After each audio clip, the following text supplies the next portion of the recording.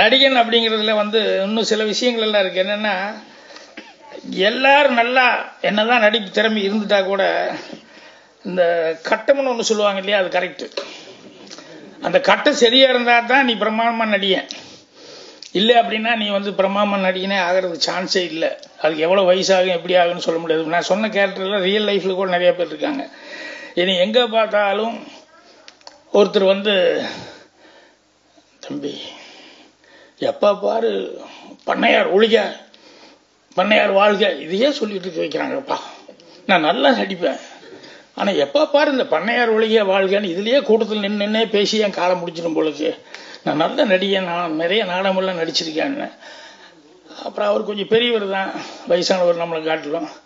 ஆனால் கொஞ்சம் பொறுமையாக இருங்க. கரெக்டாக நான் கேரக்டர் வரும்போது உங்களை நான் கூப்பிடுறேன் அப்படின்னு. ஒரு ரெண்டு தடவை மூணு தடவை கேரக்டர் வருங்க வருங்க. நம்பிக்கையோடு இருங்க நம்பிக்கையோடுங்க இல்லை இன்னும் இந்த வாழ்களை தான் நின்றுருக்கிறேன் நான். இல்லை நம்பிக்கையோடு இருக்கான்னு கரெக்டாக ஒரு படம் வந்தது. அந்த படத்தில் அவரை கூப்பிட்டு இதில் இந்த ஃபாதர் ரோல் நீங்கள் செய்கிறீங்க அப்படின்னு சொல்லிட்டு அந்த ஃபாதர் ரோல் செய்ய சொன்னேன். அவ்வளோ நல்ல நடிகர் எனக்கு தெரியும். ஏன்னா ரெண்டு டைலாக் பேசினா கூட நம்ம பார்த்தா கண்டுபிடிச்சிடுவோம் அவ்வளோ நல்லா நடிக்கிறவருக்கு வந்து திடீர்னு கூப்பிட்டு ஒரு மெயின் அடுத்த முதல் நாள் வந்து கதையை சொல்லி அவர் மெயினாக நான் கடைசி வரைக்கும் நம்ம வரப்போகிறோம் அவ்வளோ முக்கியமான ஒரு கேரக்டர் அப்படின்னு சொன்னோன்னே ஃபர்ஸ்ட் டே வீட்டு வாசலில் ஷூட்டிங் எடுத்துட்டு இருந்தேன். அடுத்து வந்து ஃபஸ்ட்டு டைலாக் சொல்லி கொடுத்தேன். சொல்லி கொடுத்துட்டு பேசுங்கண்ணே அப்படின்னா ஒரு டேக்கு கொஞ்சம் வைப்ரேஷனில் உடறிட்டார் அப்புறம் ரெண்டாவது டேக் சொல்லும்போது கொஞ்சம் சுதாரித்து உடறல் கொஞ்சம் கம்மியாக இருந்தது. மூணாவது தடவையும் வந்து கொஞ்சமாக உடறல் இருந்தது. இருந்தாலும் நான் அடுத்து கரெக்டாக சொல்லிடுறேன். நான் இல்லைண்ணே கட் கட் உள்ளே போயிடலாம் அப்படின்னு சொல்லிட்டு கேமரா உள்ளே ஷிஃப்ட் அப்படின்ட்டேன். நான் கரெக்டாக பேசல தம்பி. நான் கொஞ்சம் வைப்ரேஷன் அது எனக்கு புரியுதுங்க. ஆயிரம் பேர் நின்று வேடிக்கை பார்த்துட்டு இருக்கான். இப்போ விட்டோம்னா இதே வைப்ரேஷன் கண்டினியூ ஆகும். உள்ளே போய் சின்ன சின்ன டைலாக் எடுக்கலாம். நாளைக்கு இந்த சீன் எடுக்கிறேன். நீங்கள் தயாராகிருவீங்க எனக்கு தெரியும் அப்படின்னு. அதே மாதிரி உள்ளே போய் சின்ன சின்ன டைலாக்ஸ் எடுத்து எனக்கு அவர் கொஞ்சம் சூட்டபிளாக அந்த கெமிஸ்ட்ரி ஒர்க் அவுட் ஆகணும் இல்லையா? நம்மளை பற்றி ஒரு பிரம்மை அப்படியெல்லாம் இருக்கக்கூடாது இல்லையா? அது சொன்னதுக்கப்புறம் அப்புறம் நடிக்க ஆரம்பிச்சு அதுக்கப்புறம் ஒரு ஒரு பேத்தட்டிக் அழுகணுன்னா இந்த இடத்துல டைலாக் வந்து நல்லா பேசும்போது கடைசியில் ட்ராப்ஸ் வந்தால் நல்லா இருக்கும் அப்படின்னு சொல்லிட்டு கிளிஷன் எதாவது போட்டுக்கணும் பண்ணி இல்லை தம்பி கரெக்டாக செஞ்சிடறேன். அப்படின்னு டைலாக் கொடுத்துட்டு சும்மா சொல்லி பார்த்தாரு. ஓகேண்ணே அப்புறம் ஷார்ட்டு எடுத்தோம். ஒரு நிமிஷம் தம்பி அப்படின்னாரு. அப்புறம் கிளாப் வச்சுட்டு இருக்காங்க. ஆ ரெடி தம்பி. அப்படின்னாரு. அப்புறம் ரெடின்னு கிளாப் அடித்தோம் அடிச்சு டைலாக் பேசினார். கரெக்டாக அது முடியும் போது எங்கே தண்ணி வரணும்னு நினச்சோமா கடை கடை கடன் தண்ணி விட்டுச்சு. இது ஒரு தடவை பார்த்தேன் ரெண்டாவது தடவை பார்த்தேன். எப்படியா இப்படி கிளிசனே போடாமல் இப்படி தண்ணி வருது ஒரு கண்ணில்? அப்படின்னு சொல்லிட்டு அப்புறம் தமாஷா கேட்டேன். என்ன ஏதாவது குடும்ப கஷ்டம் ஏதாவது நினச்சிக்குவீங்களா? ஒரு நிமிஷம் இருங்கன்னு சொல்லிட்டு. ஏதாவது குடும்ப கஷ்டம் நினச்சிக்கிட்டு ரேஷன் கார்டு இது இல்லை அது வரல பால் பணம் அவனுக்கு பணம் கட்டல இவனுக்கு கட்டல இது மாதிரி ஏதாவது ஒன்று நினச்சிக்குவீங்களான்னு எப்படி கரெக்டாக தண்ணி வருதுன்னு? இல்லை தம்பி உண்மையிலேயே நல்லா நடிக்கணும் நல்லா ஃபீல் பண்ணணும்னு அதை நினச்சிக்கிட்டு நான் நடிக்கிறேன். அதனால் கரெக்டாக ஆட்டோமேட்டிக்காக தண்ணி வருது அப்படின்னு. பட் அந்த ஒரே படம் தான். தூரம் நின்று போச்சு. செந்தாமரை நடிச்சார் அந்த ஒரு படம் தான். அடுத்தது ஒரே வருஷத்துக்குள்ளே பார்த்தீங்கன்னா ரஜினிக்கே யாரா வில்லன்னா இவர் தான் செந்தாமரை தான் வில்லை இது அதே மாதிரி தான் நம்ம கலைஞான சார் இது நம்மால் படத்துக்கு எனக்கு ஐயருக்கு ஒரு ஆள் கிருஷ்ணகிரிக்கு ஒரு ஆள் வேணும் வேணும் தேடிட்டு இன்னும் ஆளை ஃபிக்ஸ் பண்ணல ஷூட்டிங் புறப்படலான்னு எல்லாம் புறப்பட்டோம். சரி யாராவது ஒருத்தர் அப்படியாவது மைண்டில் அசை போட்டுருவோம் அசை போட்டுருவோம்னு உட்காந்துருந்தேன் ஏற்காடு எக்ஸ்பிரஸுக்கு போகிறதுக்காக உட்காந்துருந்த பிளாட்ஃபார்மில் ட்ரெயின் வரப்போகுதுன்னு இருக்கும்போது இந்த கலைஞான சார் மட்டும் வேட்டி இப்படி பிடிச்சிட்டு இப்படி அப்படி போயிட்டு வந்திருந்தார். ஆள் பார்த்த நல்லா சிகப்பாக இருக்கார். இவர் கிருஷ்ணகிரி கரெக்டாக இருக்குமே. இப்படி பக்கத்தில் விட்டு போட்டு நம்ம எங்கேயோ தேடிட்டு இருக்கிறோமே அப்படின்னு சொன்னோன்னே அண்ணா கிருஷ்ணகிரி கிடைச்சிட்டார் யா யார் தம்பி யார் தம்பி? நான் கதையில் அவரும் கூட உட்காருவார். நீங்கள் தான் என்ன நானா? என்ன விளையாடுறீங்களா தம்பின்னு நிஜமாவே நீங்கள் தான் கிருஷ்ணகிரி அப்படின்னு. ஐயோ இது என்ன வம்பா இருக்கு? நான் ஏதாவது சிவானு கதை டிஸ்கஷன் ஏதாவது உட்காந்துருக்கேன் எனக்கு வேணுமா எனக்கு அப்படின்னு. இல்லை இல்லை நீங்கள் இருங்க அப்படிங்கிற மாதிரி சொல்லி அப்புறம் அதே மாதிரி ஒரு பூணூலெல்லாம் போட்டு அவர் இது பண்ணோன்னே ஒரு குடும்ப இனிமேலாம் வச்சுன்னு கரெக்டாக ஐயர் அவருக்கு ஒரே வைப்ரேஷன் அப்புறம் பரவாயில்ல நடிங்க என்ன? அப்புறம் நடித்ததுக்கப்புறம் பார்த்தா தம்பி எத்தனை படம் நான் சிவாஜியெல்லாம் வச்சு எடுத்தேனையா யார் யாரெல்லாம் வச்சு படம் எடுத்த ரஜினிகாந்த் இன்ட்ரடியூஸ் பண்ணேயா பைரவி. அப்போல்லாம் யாருன்னே தெரியல கலைஞானா யாருன்னு. இந்த ஒரு படம் செஞ்ச உடனே எங்கே பார்த்தாலும் என்ன கேள்வி கேட்க பார்த்து சார் நீ கிருஷ்ணகிரி தானே கிருஷ்ணகிரி? ரோட்டில் போக முடியல முன்னால் மாதிரி ஆட்டோ பிடிச்சி போக முடியல. என்ன நீங்கள் ஆட்டோவில் வர்றீங்கன்னு கேட்குறான் எனக்கு அவ்வளோ கஷ்டமாக போச்சு அப்படின்னா. ஸோ அப்படி நடிகர்கள் அப்படின்னு சொல்லும்போது அந்த ஸ்க்ரீனில் வந்தாச்சுன்னா ஸ்க்ரீனில் வந்து நமக்கு வந்து அவ்வளோ மரியாதைகள் கிடைக்கும். அதே மாதிரி நடிகராக வந்துட்டு வர முடியல அப்படின்னா இது இந்த புஸ்தகத்தை பொறுத்த வரைக்கும் எனக்கு இந்த டைட்டில் எனக்கு ஒரு சின்ன வேறுபாடு உண்டு. என்னென்னா இந்த நடிகன் அப்படிங்கிறத வந்து நீங்க நடிகை நடிகர்னு வச்சிருக்கலாம் ஜென்ரலா ஏன்னா ஒரு ஆம்பளைக்கு மட்டுமே வர்ற மாதிரி இருக்கு இல்லையா? அது இல்லாம இல்லைன்னா திரைக்கலைஞர்கள் அப்படின்னு சொல்லி திரைக்கலைஞன் அப்படின்னு சொல்லி வச்சிருந்தீங்கன்னா ரெண்டு பேர்த்துக்கு பொருத்தமா இருக்கு. ஏன்னா இதுல இருக்கிற மேட்ரு வந்து ரெண்டு பேர்த்துக்கு சம்மந்தப்பட்டது தான் ஸோ நடிகனுக்கு புஸ்தகம் அப்படிங்கிறது வந்து கொஞ்சம் சிரமமான ஒரு சமாச்சாரம். என்னன்னா நடிகனுக்கு புஸ்தகமாக எழுதி அவனுக்கு எக்ஸ்பிளைன் பண்ணுறது இருக்குல்ல? அது வந்து சொல்கிறத விட இது ப்ராக்டிக்கலாக செய்ய வேண்டிய சமாச்சாரம். ஒரு நடிகனுக்கு வந்து நம்ம கற்றுக் கொடுக்குறதுங்கிறது வந்து ப்ராக்டிக்கலாக தான் சொல்லி கொடுக்க முடியும். அவங்களுக்கு எந்த இடத்துல பாவம் எப்படி வேணும் என்ன மாதிரி வேணும் அப்படி இப்படின்னு சொல்லிட்டு. சில நேரங்களில் நடிக்கணும்னு ஆசையிலே யாரோ ரெக்கமெண்டேஷனில் வந்துடுவான் அங்கே வந்துட்டு ஒரு ஷாக் கொடுக்கணும் சார் இப்படி ஆகி போச்சு. அப்படிம்பா. ஏ ஏ என்ன அது சும்மா ஏன் ஒரு சின்ன ஷாக்கு தான் கொடுக்கணும். அப்படின்னா அவனுக்கு வர- அவன் ஆக்ஷன் அப்படிம்பா. யோ இப்படியெல்லாம் வேண்டாம் சும்மா சாதாரணமாக அப்படி ஒரு சின்ன ஷாக்கு அப்படின்னா எப்படி பார்த்தாலும் அவனுக்கு கை இப்படி ஆயிரும் இப்படி ஆயிரும் இப்படி ஆயிரும். என்னடா பண்றதுன்னு தெரியாது. அதுக்கப்புறம் நீ உட்காரியா? அப்படின்னு சொல்லிட்டு ஒன்றும் பண்ண வேண்டாம். கேமரா மேலே வைங்க. அவரை டபால் எந்திரி சொல்லு அப்படின்னு. அவர் டப்புன்னு எந்திரிப்பாரு. கட் உடனே இப்படி கேமரா இப்படி வை. அவர் டடான்னு இப்படி முன்னால வர சொல்லு. டப்புன்னு முன்னால் வர கட் கட் டாம் டாம் டாம் டாம் மியூசிக் போட்டுருவோம் பார்த்தா பிரமாம நடிச்ச மாதிரி இருக்கும். இப்படி நடிகனுக்காக நம்ம மொழியை பிரயோகப்படுத்த வேண்டியிருக்கோம் சூழ்நிலைகளில் வந்து இந்த எழுதுறது பேசுறது இதெல்லாம் நம்ம ஊரில் ரொம்ப கஷ்டமாக இருக்குது. ஏதாவது பேசினா அது சினிமாவில் ஏதாவது பேசிட்டா உடனே ரொம்ப பெரிய தப்பாகிடுது அது எப்படி அதை அப்படி சொல்லலாம் அது எப்படி இது இப்படி சொல்லலாம் அது எப்படி சொல்லலான்ட்டு. இப்போ நான் வந்து சர்க்காரை பற்றி கதையில் வந்து ஒரு சின்ன விவாதம் வந்தது. இல்லை இல்லை கடைசி வரைக்கும் நான் ஸ்டாண்ட் பண்ணிட்டேன். இப்படி தான் அப்புறம் அவரே சமரசமாகி வந்து ஓகே சார் அப்படின்னு சொல்லி பேர் போட்டுறோம்னு சொல்லி சரியாக போச்சு. அடுத்தது ஒரு பிரச்சனை. நீ எப்படி அந்த இலவசம் கொண்டு வந்த? அதை எப்படி கொண்டு வந்த? இதை எப்படி கொண்டு வந்த? அப்படின்னு ஒன்னே நேராக எங்கிட்ட வந்துட்டாங்க. யோ இப்பதான் என் சர்க்கார் மேட்டர் முடிஞ்சது. என்ன உடுங்கையான்னு இல்ல இல்ல சார் இப்படி முருகதாஸ் வந்து இப்படி சொன்னது தப்பு. கவர்மெண்ட்ல வந்து இப்படி அப்ஜெக்ஷன் பண்ணிருக்காங்க அப்படி இப்படின்னு. நான் சொன்னேன் ஒரு ஒரு கதை சொல்றேன் நடந்த கதை அப்படின்னு. என்னன்னு? இல்ல ரெண்டாவது உலக போர் டைம்ல வந்து சர்ச்சில் தான் இங்கிலாந்துல பிரதமரா இருந்தாரு. அந்த ஊர்ல ஹைடு பார்க்னு ஒண்ணு இருக்கு. அந்த ஹைடு பார்க்கில் வந்து சனிக்கிழமை ஞாயிற்றுக்கிழமை வந்து நின்னுட்டு யார் வேணாலும் யாரை வேணாலும் திட்டி விமர்சனம் பண்ணி என்ன வேணால் சொல்லிக்கலாம். அந்த மாதிரி ஒரு இடத்துல வந்து ஒருத்த வந்து சர்ச்சில் மாதிரி ஒரு முட்டா பையில எவனும் கிடையாது. அவன் நாசமாக போவான். அவன் வந்து இந்த நாட்டையே நாசமாக்கிடுவான். அவனால் எல்லாரும் கஷ்டப்பட போகிறோம் அப்படி இப்படின்னு சர்ச்சில் பயங்கரமாக பிடிச்சது பண்ணாங்க. உடனே போலீஸ் வந்து அரெஸ்ட் பண்ணி கொண்டு போயிட்டாங்க. உடனே அங்கே வந்து பெரிய பிரச்சனை. என்னென்னா அது வந்து ஹைடு பார்க்குங்கிறது உரிமை பேச்சுரிமை இருக்கக்கூடிய இடம். அங்க வந்து நீங்க வந்து பேசினா அவனை வந்து எப்படி நீங்க அரெஸ்ட் பண்ணலாம் அப்படின்னு சொல்லி இருந்தாலும் சர்ச்சில் பத்தி இப்படி பேசிட்டான் ஆய்வு அப்படின்னு சொல்லி ஸோ அன்னைக்கு இல்லை இல்லை அதுக்கு நீங்க பதில் சொல்லி ஆகணும் பத்திரிகை கித்திரிக்கை எல்லாம் சொல்லும்போது அந்த சபை கூடிச்சு. இங்க சட்டசபை கூடுற மாதிரி சபை கூடிச்சு சர்ச்சில் வந்தார். சர்ச்சில் வந்தோடனே அவர்கிட்ட இந்த மாதிரி அவன் வந்து சுதந்திரம் இருக்கல பேச்சுரிமை இருக்கல அதில் தான் நம்ம பேசியிருக்கேன். எப்படி நீங்கள் அரெஸ்ட் பண்ணலாம்? அப்படின்னு. இல்லை இல்லை நீங்கள் தப்பாக புரிஞ்சிட்டீங்க.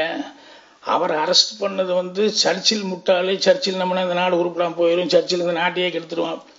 இதுக்காக அவன் அரெஸ்ட் பண்ணல? என்னன்னா ரெண்டாவது உலக போர் நடந்துட்டு நாட்டினுடைய ரகசியத்தை காப்பாற்றணும்ல அதை போய் வெளியே சொல்லிட்டானாங்க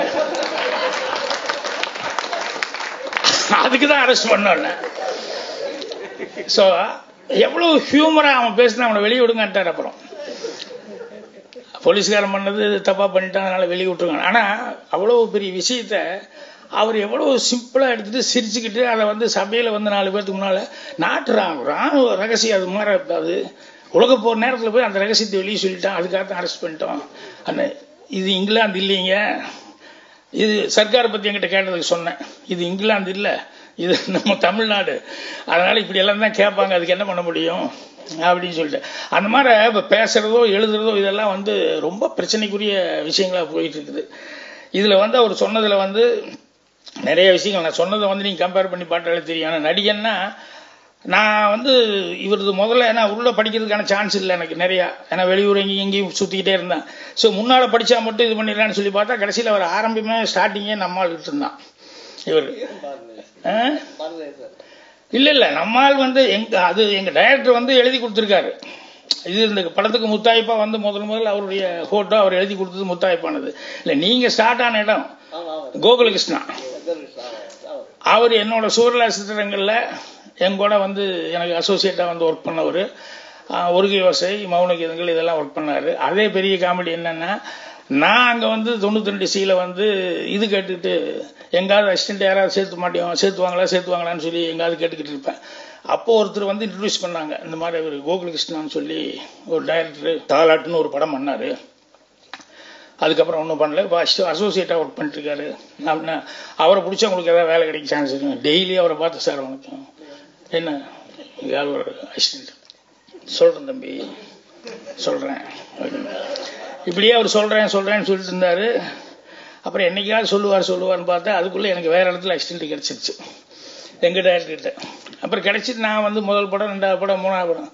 நாலாவது படம் நான் பூஜை போடும்போது அவர் வந்து படம் பண்ணுறீங்கன்னு கேள்வி நான் அசிஸ்டண்ட்டாக வேலை பார்க்க ஏங்க நான் உங்ககிட்ட வேலை கேட்டு இருந்தவன் நீ என்னங்க திடீர்னு எங்கிட்ட வந்தான்? அதெல்லாம் கிடையாது. சினிமாவில் அதெல்லாம் யோசிக்கவே முடியாது. எனக்கு வேலை வேணும். நீங்கள் நல்ல டைரக்டர் ஆகிட்டீங்க இப்போ டைரக்ட் பண்ண போகிறீங்க அதனால் நீங்கள் நல்லா வருவீங்க எனக்கு நம்பிக்கை இருக்குது. உங்கள் டைரக்டர் தானே வந்திருக்கீங்க. அதனால் நான் உங்களுக்கு அசிஸ்டண்ட்டாக ஒர்க் பண்ணுறேன் அசோசியேட்டாக நான் ஒர்க் பண்ணுறேன் நான் அது கௌரவமே எனக்கு கிடையாது. தாராளமாக நீங்கள் தயவுசெய்து என்னை சேர்த்திக்கணும் அப்படின்னாரு. அப்புறம் நான் சொன்னேன் இல்லைங்க உங்கள்கிட்ட வேலைக்கு நான் சான்ஸ் கேட்டிருந்தேன். திடீர்னு உங்களை கூப்பிட்டு கோல்ஸ்னா அது என்னாச்சு இது என்னாச்சு? நான் எனக்கு டக்குன்னு வாய் வராது. ஏன்னா நான் உங்கள்கிட்ட வேலை கேட்டதுனால. என்னை விட வயசில் வேறு கொஞ்சம் கூட இருக்கீங்க. அதனால் நமக்கு கீழே உங்களுக்கு கீழே வேலை பார்க்கறதுக்கு யாராவது ஒரு பையனை சேர்த்திக்கோங்க. அப்போ தான் அவங்ககிட்ட நான் வேலை சொல்கிறதுக்கெல்லாம் சௌரியமாக இருக்கும். அது எனக்கு தெரிஞ்ச பையனா வேண்டாம் உங்களுக்கு தெரிஞ்ச பையனா உங்களுக்கு மரியாதை கொடுக்குற ஒரு பையனாக இருக்கணும். அந்த மாதிரி ஒரு ஆளை சேர்த்திக்கோங்க அப்படின்னு. அப்புறம் கோவிந்தராஜன் ஒரு பையனை சேர்த்திக்கிட்டாரு.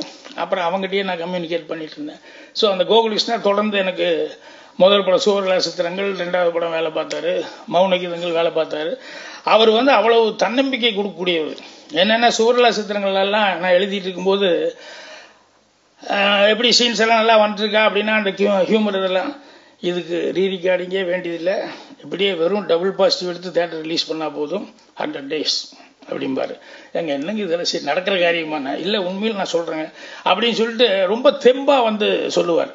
அதே மாதிரி ஒரு யோசை வேலை பார்க்கும்போது அவரையும் சும்மா இருக்க மாட்டாமல் இந்த வண்டி ஓட்டிட்டு ஒரு இது வேணும்.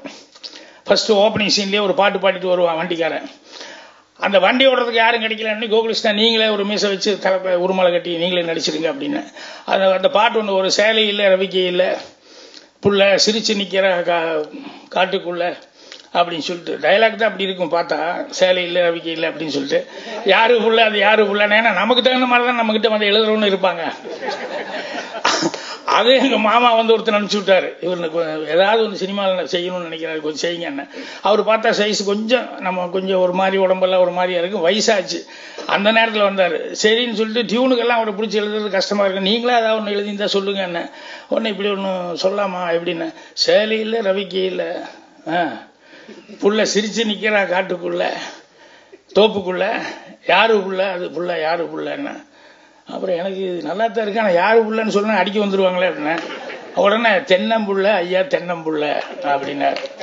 அட நீ கரெக்டான ஆளு கரெக்டான இடத்துக்கு தான் வந்திருக்கீங்க வாங்க அப்படின்னு சொல்லிட்டு அப்புறம் விஸ்வநாதன் கிட்ட கொண்டு போய் அந்த பாட்டை கொடுத்து அவரே பாடி டியூன் பண்ணி பண்ணாரு. ஸோ எந்த புத்தில் எந்த பாம்பு இருக்குன்னு சொல்ல முடியாது. ஒரு சில பேர் ரெக்கமெண்டேஷன் வந்தவன் நான் முதல்ல சொன்ன மாதிரி ஷாக் இப்படின்னு அப்படி தான் கொடுக்குறவன் இருப்பான்.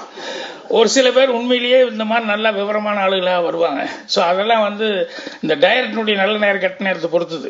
நடிகன் அப்படின்னு வந்து அவனுக்கு வேர் அப்படிங்கிறது அவனுக்கு தண்ணி மாற அப்படிங்கிறதெல்லாம் வந்து இந்த கதாசிரியர்கள் கிரியேட்டர்ஸ் அவங்களுடைய இது அவங்களுடைய ஒத்துழைப்பு வந்து எடுத்துக்கணும். என்ன சில நேரங்களில் வந்து எப்பேற்பட்ட நடிகராக இருந்தால் கூட நம்ம கொடுக்குற கதாபாத்திரம் என்ன அப்படிங்கிறது வந்து ரொம்ப முக்கியம். நான் வந்து எங்கள் டைரக்டர்கிட்ட ஒர்க் பண்ணும்போது பதினாறு வயதில் இது எப்பவும் சொன்னதில்லை. சும்மா இன்னைக்கு சொல்கிறேன் அவர் வந்து எங்கிட்ட கதை சொன்னார் பதினாறு வயதில் கதை சொன்னப்போ நல்லா இருந்தது. அவர் சொல்லிட்டு இருக்கும்போது நான் கவனிச்சுட்டு இருந்தேன். கதையை நான் படித்து பார்த்துட்டேன் முதல்ல. சப்பானின்னு எழுதியிருக்கு. சப்பானின்னு எழுதியிருக்கு. இவர் கதை சொல்லும்போது மயிலு நான் சந்தைக்கு போகிறேன் உனக்கு பிடிச்சதா இருந்தால் சொல்லு. நான் வாங்கிட்டு வர்றேன். அப்படின்னு சொல்லி கமல் கேட்பார் எனக்கு ஒன்றும் வேண்டாம். நீ என்ன வாங்கிட்டு வர போகிறேன்னு ஸ்ரீதேவி சொல்லுவோம். இந்த மாதிரி ஏதோ ஒரு சீன் இப்படி அவர் சொல்லிக்கிட்டு இருக்காரு. ஒவ்வொருத்தரும் வரும்போது கதை சொல்லுவார். அப்புறம் எங்கிட்ட வந்த அப்போ தான் நான் காப்பி எடுக்க போயிருக்கேன். எங்கிட்ட என்னையா படிச்சியா? படித்தேன் சார் இன்னும் நல்லா இருக்கா? இல்லை நல்லா வரும். டெஃபினட்டாக நல்லா ஓடும். சும்மா எனக்காக சொல்லாத. முதல் படம் வேலை பார்த்துருக்கேன்னு சொல்லி. இல்லை சார் நல்லா வரும். வேற ஏதாவது உனக்கு இது தோணுதா அப்படின்னு. ஒன்று தோணுது சார் என்னென்ன. இந்த சப்பானின்னு பேர் வச்சுருக்கீங்க. அது சொல்லும்போது பிளைனாக இருக்குது சார் என்ன பிளைனாக இருக்குது இல்லை டைலாக் வந்து சப்பானி அப்படின்னு பேர் வச்சதே வந்து அவன் சப்பானி ஒரு டைப்பான ஆள் தானே. அவனுக்கு எதுவுமே தெரியாது அப்படிங்கிறது தானே. ஆமாண்ணே. அவன் சாதாரணமாக மயில் நான் சந்தைக்கு போகணும் உனக்கு ஏதாவது பிடிச்சிருந்தா சொல்லு. நான் வாங்கிட்டு வந்துடுறேன். வரும்போது வாங்கிட்டு வந்துடுறேன் வாங்கி வரேன் அப்படிங்கிற மாதிரி. வேற எப்படி சொல்லலாங்கிற? இல்லை சார் அவன் சொல்லும்போது மயில் நான் சந்தைக்கு போகிற மயில் உனக்கு ஏதாவது பிடிச்சது வேணுமா? அப்படின்னு சொல்லி மாடுலேஷன் வந்து கொஞ்சம் அந்த மயிலுன்னு சொல்கிறதெல்லாம் சாதாரணமாக மயிலுன்னு சொல்லாமல் அப்படி இருந்தால் நல்லா இருக்கும். இங்கே ஒரு சீன் பேசு அப்படின்னாரு. அப்புறம் ஒரு சீன் பேசி காமிச்சேன். ரெண்டாவது சீன் பேசு. அப்புறம் ரெண்டாவது சீன் மூணாவது சீன் அப்புறம் கதை சொல்லும் நீயே சொல்லியா? அது வித்தியாசமாக இருக்கியா? இந்த சப்பானிங்கிறது நீ பிடிச்ச மாடலேஷன் ரொம்ப டிஃப்ரெண்ட்டாக இருக்கியா? இப்பதான் ஒரிஜினல் சப்பானி மாதிரி எனக்கு இருக்குது நல்லா இருக்கியா? அப்படி நீயே சொல்லி. யாராவது கதை சொல்ல வந்தா ராஜா நீ சொல்லு அப்படிம்பாரு. ஃபர்ஸ்ட் டே ஷூட்டிங் கமல்கிட்ட பேப்பர் கொடுத்தாச்சு. நான் அசிஸ்டன்ட் நின்றுருக்கேன். டைரக்டர் நின்றுருக்காரு. ஸ்ரீதேவி. ஒரு மானிட்டரில் டைலாக்லாம் போட்டு டேக் அப்படின்னாங்க. கமலஹாசன்கிட்ட பேப்பர் அது மட்டும் தான் கொடுத்துருக்கோம். ஒன்றும் சொல்லலை. அவர் மயிலு நான் சந்தைக்கு போகிறேன் உனக்கு பிடிச்சதாக இருந்தால் சொல்லு. வரும்போது வாங்கி வந்துடுறேன். அப்படின்னு சொல்லி சொன்னோடனே ஓகே நேரம் எங்கள் டயர் என்ன பார்க்குறாரு ஏன்னா சப்பானி மயிலுன்னு சொல்கிறதே ஒரு மாதிரியா சொல்லணும். அது என்ன பார்த்துட்டு ஒன் மோர் அப்படின்னாரு. நான் அப்படி கடிச்சி கடிச்சிட்டு தலையாட்டேன்.